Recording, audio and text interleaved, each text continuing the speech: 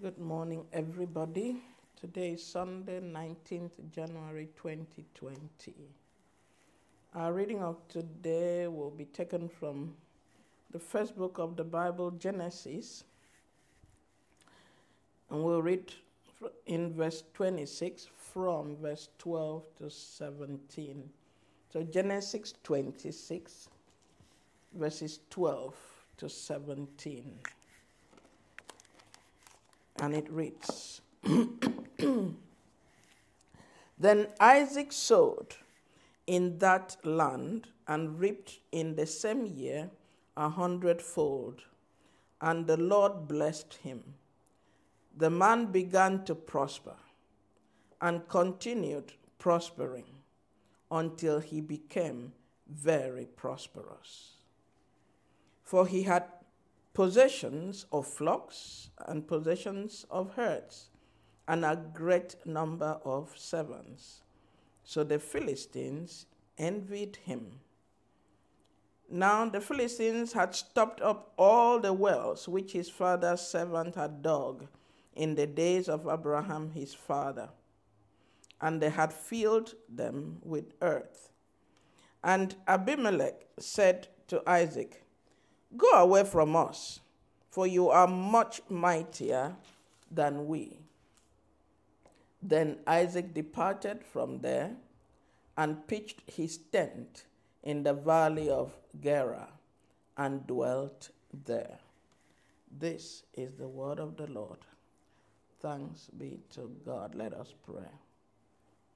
Eternal and everlasting God, Father, you are the Lord of the harvests. We just read how Isaac sowed in the, in the land and reaped in the same year a hundredfold. Lord, we know that you are God of blessing because the word says he, that happened to him because you blessed him. So, Lord, we commit our lives unto you. He did that because of obedience, and because of that obedience, you blessed him and he prospered. So, Lord, as we obey you, we invoke your blessing in our lives. Help us to hear your word. Let your word be that seed that is planted in us. And let us also bear a hundredfold out of all that, we, that you have planted in us. Let us not lack. Let us not be, be found wanting let your perfect will be done for us. God the Father, God the Son, God the Holy Spirit. In Jesus' name, Amen. Amen. Amen. So the title of the message will be Prosperity and Envy. Prosperity and Envy. It says there in verse, sorry, in verse 14, the last bit of, of verse 14. So the Philistines envied him. That came from verse 13. And I'm reading from the King James Version, just for the record. So, verse 13 of, of that chapter says, The man began to prosper and continued prospering until he became very prosperous. And that's why it resulted in the envy of the Philistines. So when you pray for God for, prosper- for prosperity, you have to understand that envy might be some of the side effects, so to say. But we cannot, because of the, the wickedness or the envy of the enemy, stop to pray like John prayed in, in his third epistle. He says, Beloved, I pray that you may prosper in all things. And I check all in Greek, and I check all in Hebrew, and all means all. You see? Beloved, children of God, I pray that you may prosper in all things, and that you may be in good health, just as your soul prospers. So you prosper physically in health, and you prosper in your soul and in your spirit. You prosper in all things. That's the will of God for you and I. Because goodness comes from the Lord God, our Creator, our Maker, our Father. But the enemy of your soul seeks to oppose those good things that God has written down concerning you and I. However, we look at it, individually, as a church, as a community, as, as, the, as a nation, Look around. When good things happen, you will always see people who are trying to oppose it. Those are the, the, the, the devil's advocate. So don't waste your time on them. Don't go and start quarreling with them. Leave them. They are just doing their father's work. You keep on doing your own father's work. That's why Peter says, Be vigilant and be wise. Don't, don't sleep because your enemy the devil is prowling about. He's not, he's not doing it because you are doing bad. He's looking for those who are trying to do good so he can disrupt. So, and the Bible says we have to submit ourselves to God. That's when we receive the energy, the power, the strength, the wisdom to resist the devil and he will flee. If you haven't submitted to God, you cannot resist the enemy. Then you are fighting him by your power. But when you have submitted to God, you tap into God, you are plugged into God, then God is the one that strengthens you to resist the enemy. So you cannot fear him. Fear him not. Just submit yourself to God your, your master, your father, your creator. When we submit to the will of God, He will bring it to pass. Don't look back like Lot's wife. Just do what you know to do. Let the enemy do what he knows to do. Jesus says he's, he's the liar, he's the father of all lies. And Jesus rejoiced. He said, I saw him fall like lightning from heaven. So don't even bother. He's just doing what he has to do.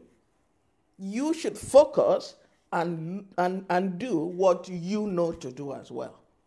Because your line and his line are parallel. You don't meet. He does his thing, you do your own.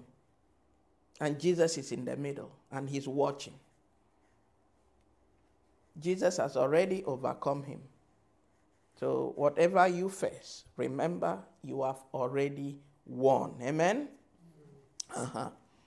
So let's look at that chapter 26 as a whole. Let's starting from verse 1 because we only read from from verse 12 to 17. But let's look at at it from verse 1.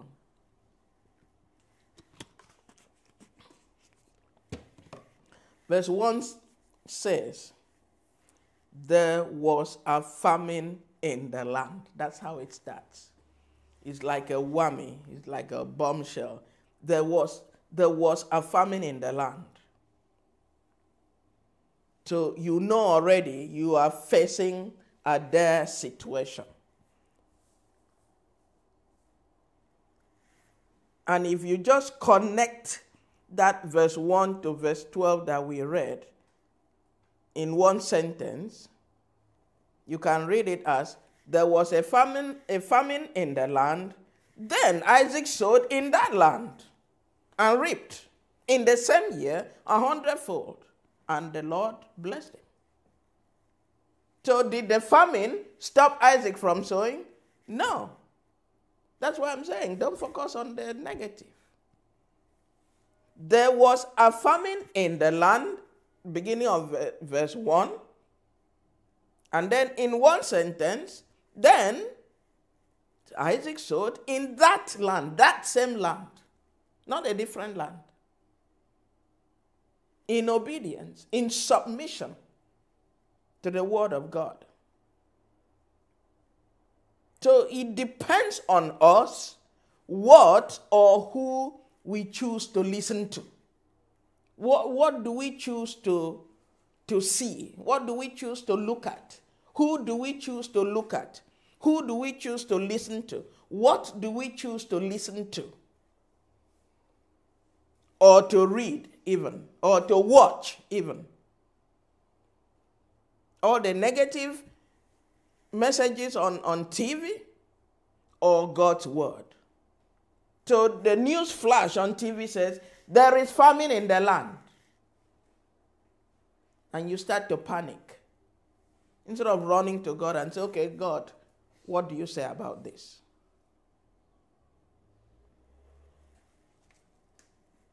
So Isaac r- listened to the news flash. There is famine in the land. Besides the first that was in the days of Abraham. So this is a second round of famine. And Isaac went to Abimelech, king of the Philistines in Gerar. So he, he, he tried to do what he thought was best. And then he stopped. Okay, what's God saying about this? There's famine in the land. Lord, what do you say? Listen to verse 2. Then the Lord appeared to him. The Lord appeared to him and said, Do not go down to Egypt. Live in the land of which I shall tell you. Ignore the news flash. Ignore the, the breaking news. Just listen to what I'm saying and do that. God appeared to him. Don't go to Egypt. Everybody's running to Egypt. That's the, the, the, the, the, world system. That's the world order. That's what everybody thinks is good. Don't go to Egypt. Even though it looks like Egypt is the happening place, don't go there. Let God be your prosperity. Let your prosperity not depend on the world system. The, everyone is running in one direction. You stop and say, Lord, which way shall I go? Don't go there because everyone is going there. It may look like it's the real deal. Howbeit, sooner or later, you start to pay back. You will pay back. If God did not give it to you, you that means Satan gave it to you and he'll take it back. Because that's his, his, uh, uh, uh, his business. That's what he's good at. You, you do what God says, even though it doesn't look right. That's the point. Verse 3 God says, Dwell in this land and I will be with you and bless you. For to you and your descendants I give all these lands, and I will perform. I will perform. I will bring it to pass. I'll perform the oath which I swore to Abraham your father. Don't look at what is happening. If Satan gives you, he'll take it back. Just ignore him. Proverbs 10:22 says, "The blessing of the Lord it makes rich, and adds no sorrow to it." That's why God stay, said, "Dwell, dwell in this land. Don't don't let the news flash bother you." And so that brings us to that position of having a choice whether to obey God's voice or to leave it do we want to accept what God says, even though it doesn't look right, even though all your friends have run to Egypt? God says, stay here. Oh, but Lord, everybody's going to Egypt. Okay, choose where you want to go. God says, I will do it. I'll bring it to pass because I've given my word to your father Abraham and he has obeyed me before. So it's, it's an issue of trust. Listen to verse, verse 5.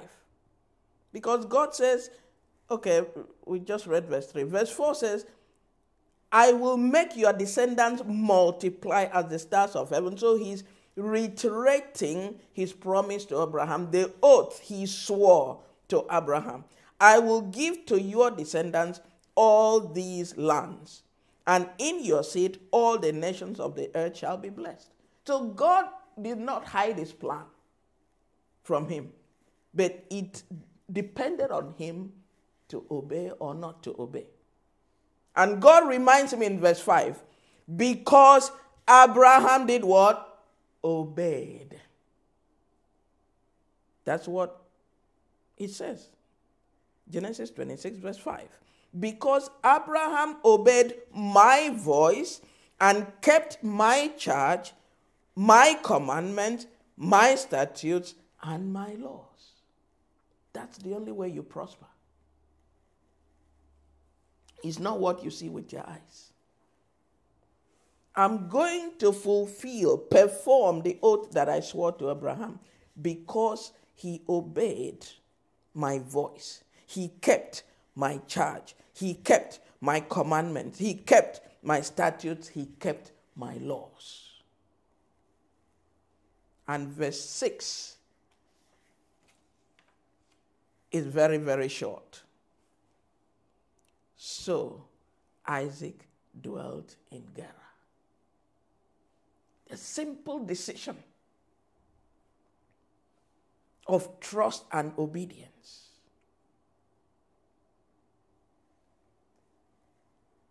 Because God is saying, Your father went through this. If you read Genesis chapter 20, your father went through this, Isaac. Your father Abraham went through this in Genesis 20. I saw him through. Will you let me see you through this time? This is a second time, if you remember what we read in verse 1. There was a famine in the land besides the first famine. So this is not the first time. You have track record of God's faithfulness, especially for us in this generation. We have so much evidence how God has helped others, what is our problem? Because for Isaac, that wasn't a big problem. Verse 6 is the shortest of all the verses in that chapter. So, Isaac dwelt in Gerar. Simple choice to make. Simple choice of obedience and trust. That was his response to what God said to him. I saw your father through. It's up to you if you want to let me see you through. There was famine before. Your father obeyed my voice, and I pulled him out of it. Now it's your turn. Will you let me help you? And Isaac responded. And we still go back to that verse 12. It was his response in verse 6 that brought about verse 12. Verse 12. Then Isaac sowed in that land, while others ran. Isaac dwelt in Gerar. So just read verse 6 and verse 12 in one sentence. So Isaac dwelt in Gerar. Then he sowed in that land and reaped in the same year a hundredfold. And the Lord blessed him. And what I like most in, in all those verses is verse 18. I just love it. See how, because he obeyed and stayed and planted, because God blessed him, he says, the man began to prosper. He continued prospering until he became very prosperous. Read verse 18 for yourself. That's what it says. Because he obeyed and remained, the man began to prosper. He continued prospering until he became very prosperous.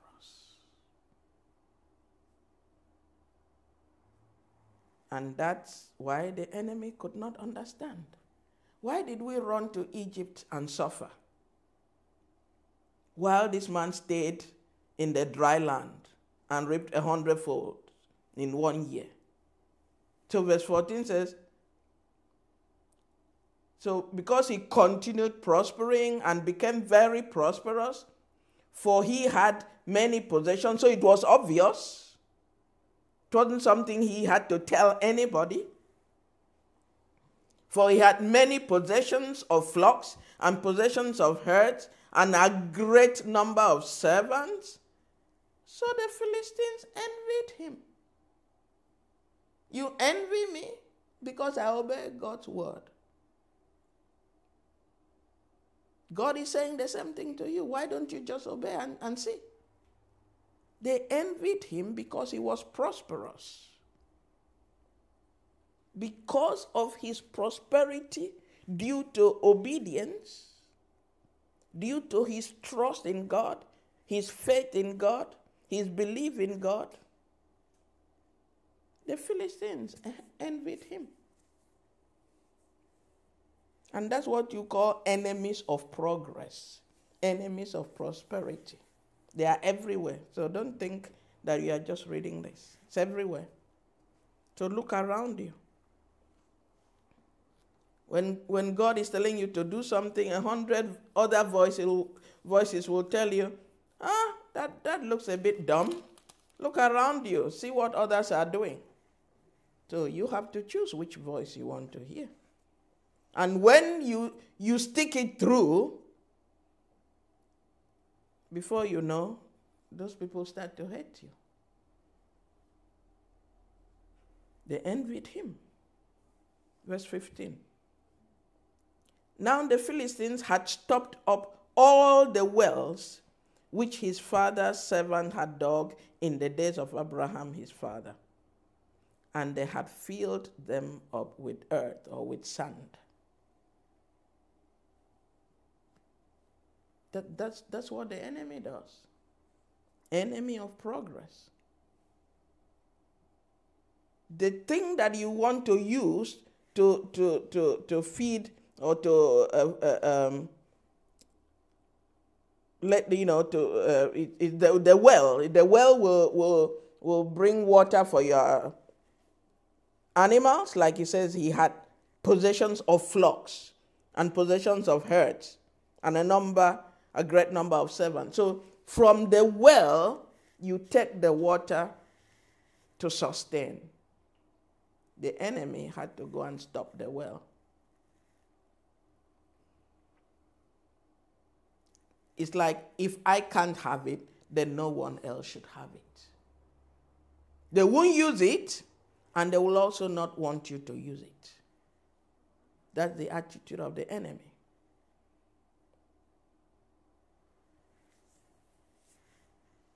And even King Abimelech said to Isaac, Go away from us, for you are much mightier than we are.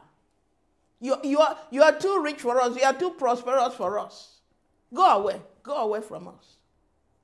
And then you start crying, Oh, I'm losing my friends. Oh, everybody hates me. No, please go. Because it's for your own good. Those people are not your friends. They stopped your well, they envy you, they drive you away, and you are crying. When God wants to bless you, He has to clear, clear those unwanted plants around you. Anything that is not helping you to grow, cut it off. Jesus said it. Every tree that my heavenly Father did not plant will be uprooted. God is cutting off those weeds around you and you are sitting around and crying.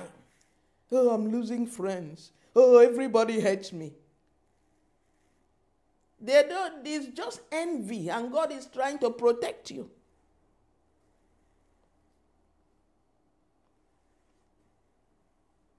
Here is King Abimelech saying to Isaac, Go away from us, for you are much mightier. You are greater than us. You are richer than us.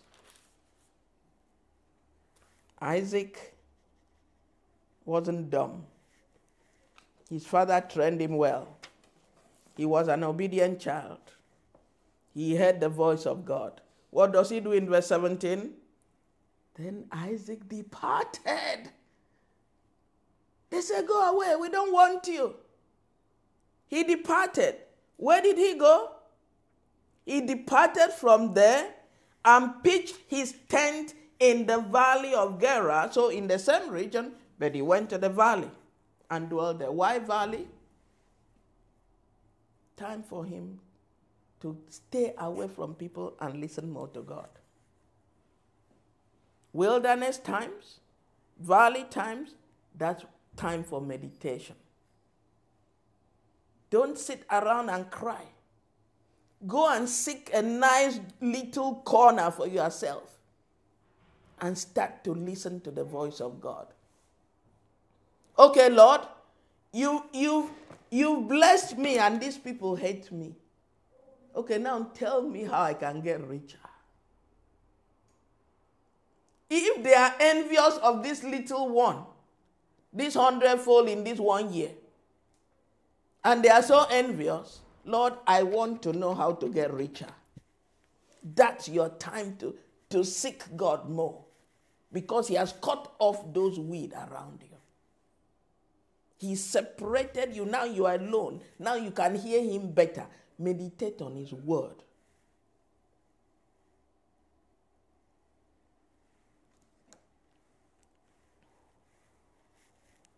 He pitched his tent in the valley. That was time he was one on one with God, seek, seeking God's face. And then he started digging.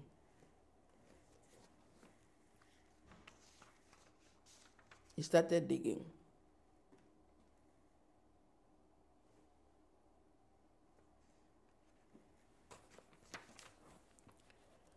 Because he was focused.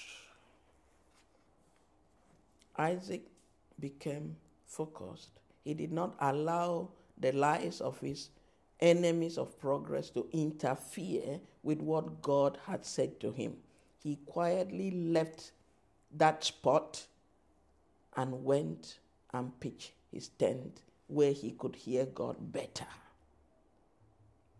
Time to shut out the enemy and meditate on the Word of God. Time to stay focused and not cry. And then he started digging the wells again. Let's read verse 18. And Isaac dug again the wells of water which they had dug in the days of Abraham his father, for the Philistines had stopped them up after the death of Abraham. He called them by the names which his father had called them. What does that mean to you and I? that spiritual heritage. You, you, you read in, in um, Hebrew when it talks of the, the cloud of witnesses. That's why I keep saying our generation is the best. See, Isaac only had one man to, to copy. He only had his father's spiritual heritage to go back to. He went back to dig the well. That's what it means. He went back to trace his father's footsteps. And how many footsteps do we have to trace? Even just apart from Jesus on alone, that is more than enough. We have Abraham, Isaac, Jacob, David. I mean, who do you want to name? Peter, Paul, Deborah, Esther. Who do you want to name? Uncountable. That's why the Bible says you have a cloud of witnesses. People who have been there, done that, and are wearing the crown. Go back and dig the wells, the old wells, redig the wells. Visit your spiritual heritage. Where did I stop? He didn't just go and do his own thing because the Bible says he called the wells by the same name which his father had called them. He did not deviate. He did not say, New age, this is new generation, let's do something new. We don't know what that old man was doing. Now we are the modern generation, let's do our thing.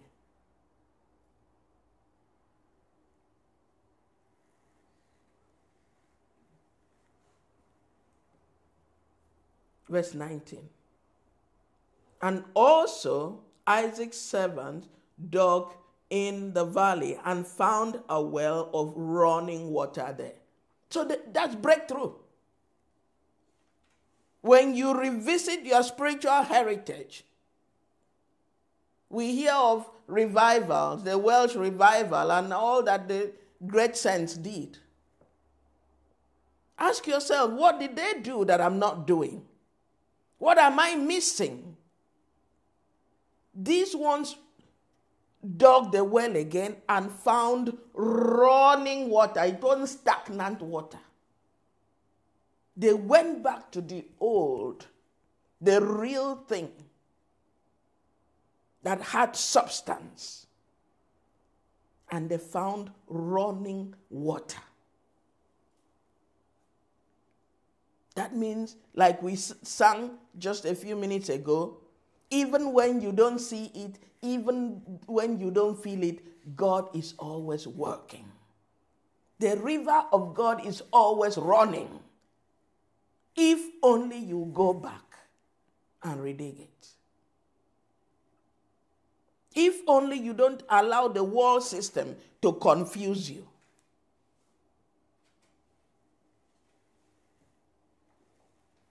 Are you going to allow the enemy of prosperity to stop your spiritual progress? This is the season to redig the wells. Call for the, those physical and spiritual prosperity that the Lord has written down concerning you and your destiny.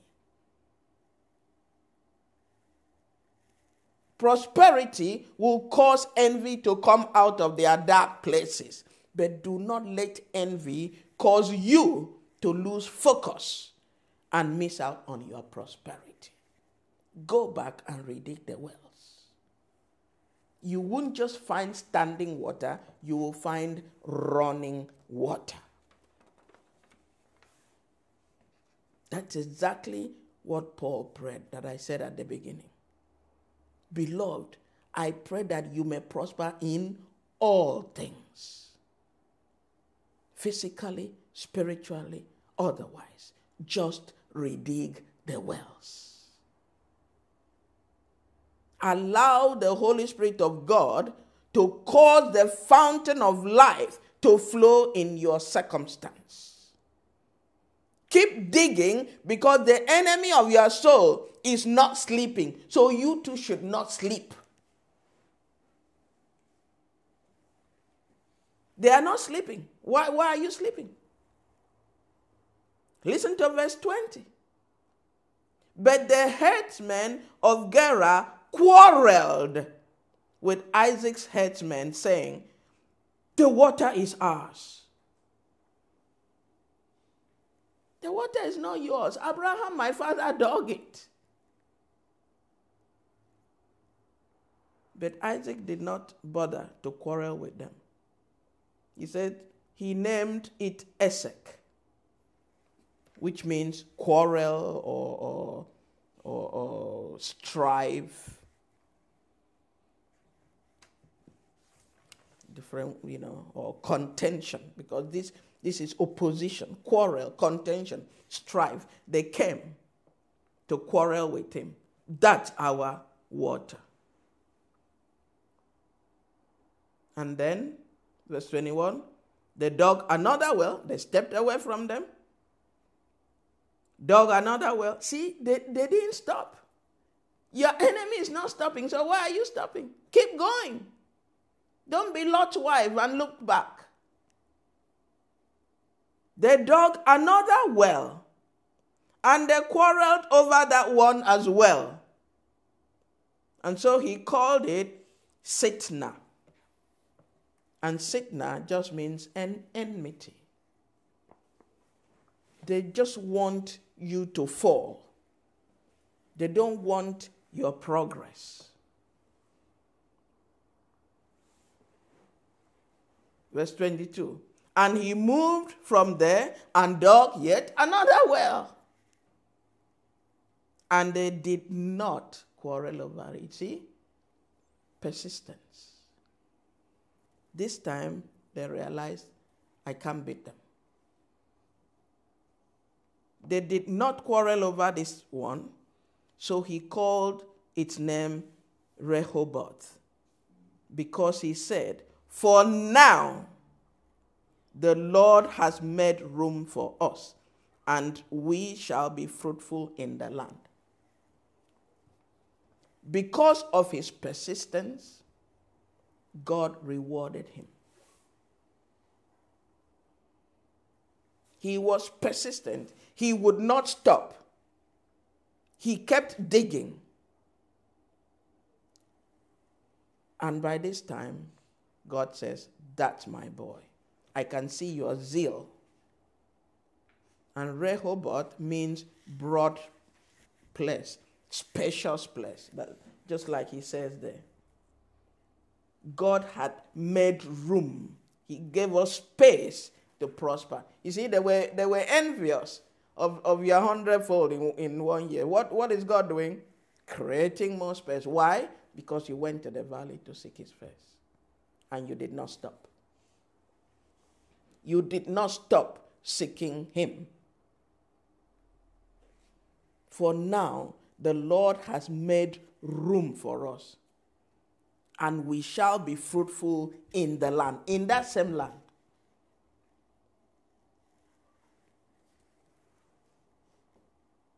Then he went up from there to Beersheba, and the Lord appeared to him the same night and said, I am the Lord God of your father Abraham. Do not fear, for I am with you.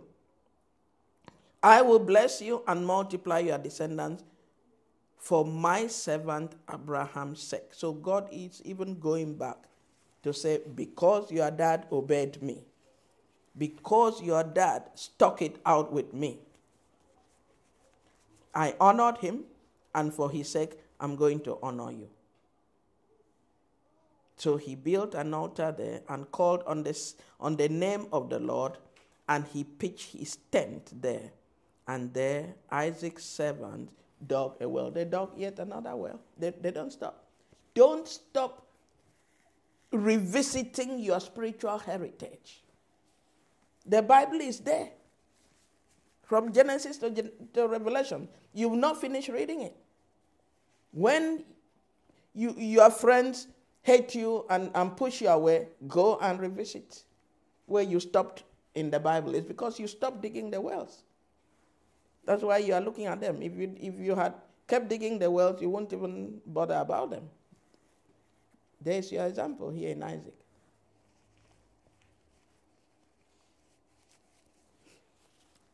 So once he broke through, the Lord appeared to him. That's in verse 24. Isaac built an altar and worshiped God. This is the manifestation of your prayers, the manifestation of your, of your fasting, the manifestation of your meditating on the Word of God, the manifestation of all those times that the haters would not leave you alone. God appeared to you. And now you can worship him. And his servants dug yet another well.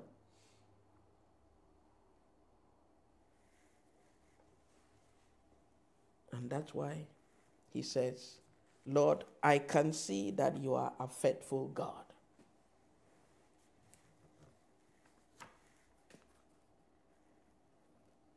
So he called it Sheba. That's the name of that one.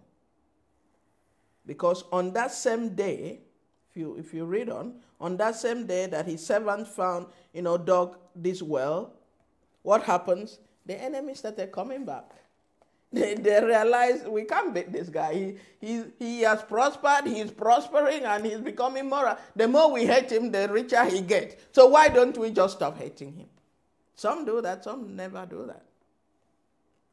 Listen to verse 26. Then Abimelech, the same man that told him, Go away, you are too much for us. Abimelech came to him from Gaza and um, Ahazat, one of his friends. So he brought, you know, companion and Pichkol, the commander of his army. He, they came to Isaac. So Isaac is like, Why have you come to me? Read verse 27. Isaac said to them, Why have you come to me, since you hate me and have sent me away from you? What are you coming back to do now? You, you, you obviously hate me. Why did you come to me? In verse 28, they said, We have clearly seen. It is certain. We have seen that the Lord is with you. We fought you so long, and, you know, there's nothing we can do. So we said, Let there now be an oath between us, between you and us, and let us make a covenant with you. Suddenly, peace treaty, isn't it? Suddenly, they want to come back and call it quits. Let's not fight again. We've come back. We want a peace treaty. Let us make an oath. Why? Listen to verse 29 that you will do us no harm. Now they are afraid of you. They are afraid of you because you are unstoppable. And it is clear to see. Let's make an oath. Let us sign a peace treaty that you will not harm us. Verse 29. Since we have not touched you, now they are trying to say, you see, we just sent you away before. We didn't fight you, we just asked you to go. Since we have not touched you, and since we have done nothing to you but good, and have sent you away in peace. You see, now they are trying to make it look as if it was all, we, we did you good, we, we sent you away in peace. You are now the blessed of the Lord. May the enemy declare with his mouth that you are blessed by the Lord in Jesus' name. You are now the blessed of the Lord. If the enemy says it, then it's true. It's, it has to be true.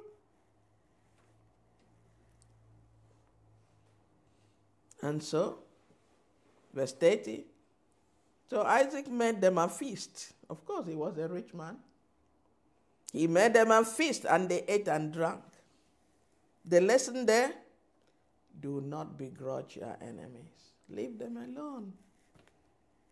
They can see you are rich, they are coming to beg for food. Just give them food. Don't begrudge them. Forgive them because you are mightier than them. Forgive them. Don't begrudge them.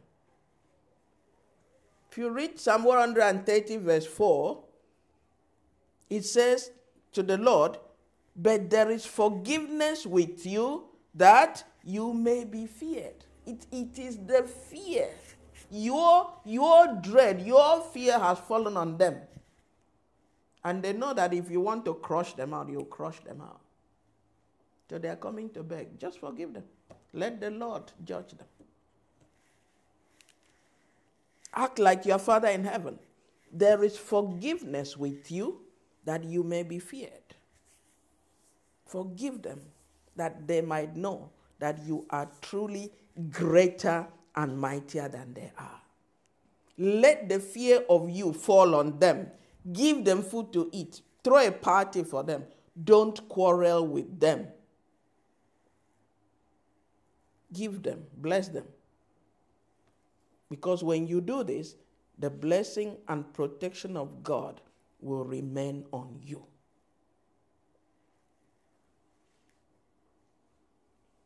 Verse 30 He made them a feast, and they ate and drank. Then they arose early in the morning and swore an oath with one another, and Isaac sent them away, and they departed from him in peace. Verse 32 It came to pass the same day that Isaac's servant came and told him about the well which they had dug. That's the one we read in verse 25.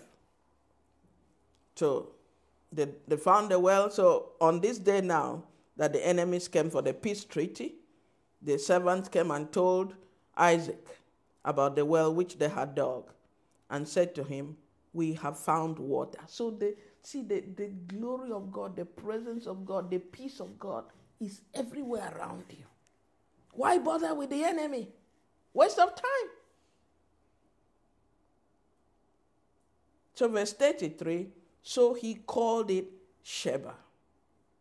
Therefore, the name of the city is Beersheba to this day. They found fresh water. Sheba just means oath or seven. Some people say seven wells or the wells of oath. The, um, because of, you know, the Hebrew word is extensive. You can call it oath, you can call it seven well of oath or, or well of the seven. Seven itself, because its completion, is also an oath in itself. So the servant came and said to him, We have found water. So this is your constant refreshment. This is your constant presence of the Lord. He comes to bless you. He, God has no, no evil plan against you. He says, My plans for you are good and not evil. So when bad things happen to you, never blame God. We talked about that a few weeks ago. Blame Him no more. He only comes to strengthen you, He only comes to, to bless you. He only comes that you may find strength. Remember when you're when like when it's like in summer and you're tired and, and weary, all you, you if they gave you food that time, you don't even want. All you want is water to drink, something to drink, because it's refreshing. It it strengthens you, it revamps your strength, it, it brings you back to life. So this is what the, the the, the, the work, this is the work of the Holy Spirit. Refreshing, strength in the Holy Ghost. We found water, running water. And that is what God is saying to you today. Seek me and find running water.